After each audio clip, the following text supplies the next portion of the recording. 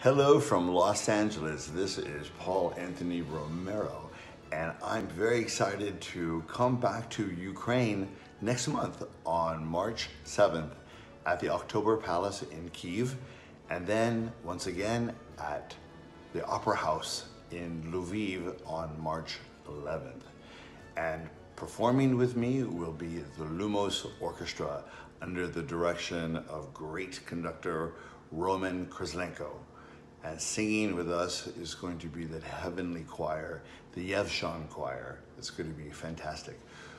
Together, we will perform for you the soundtrack from Heroes of Might and Magic number three, because this is the 25th anniversary of Heroes of Might and Magic 3. So, to celebrate it, I thought no better place I would want to perform this music than for my heroic brothers and sisters in Ukraine. So please join us on March 7th in Kiev and March 11th in Lviv. Have a wonderful day and look forward to seeing you. Take care, you guys.